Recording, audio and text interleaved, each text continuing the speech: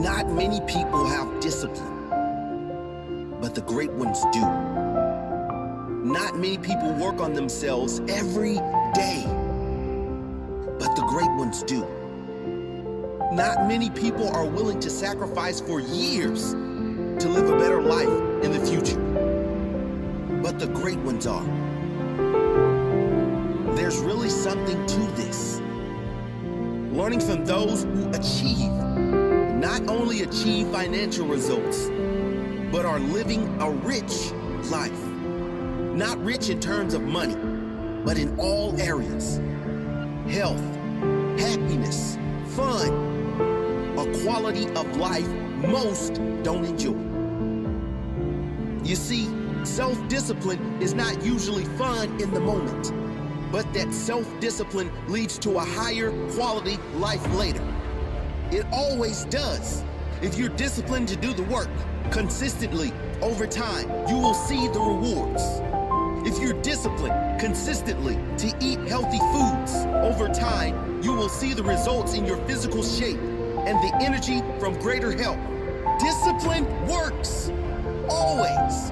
The problem is, most people aren't willing to suffer now for greater later. Most people choose easy now and pain later. Now, greater later. Easy now, suffer later. What do you choose?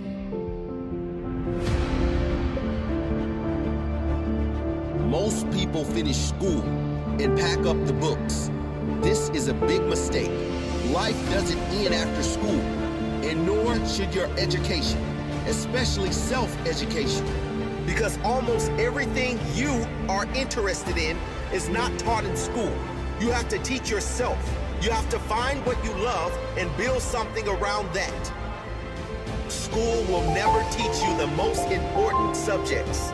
Mental health, how to build mental strength, how to develop emotional strength and resilience, how to become self-sufficient and build an income for yourself so you can enjoy the freedom that comes with that.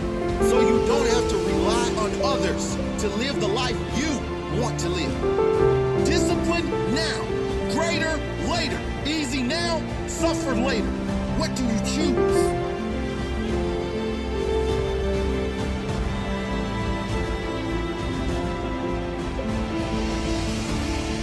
You really have to ask yourself what you want from life and what are you willing to sacrifice to get it?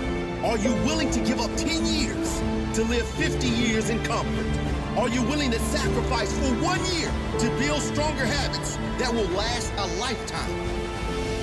What's it gonna be? You choose.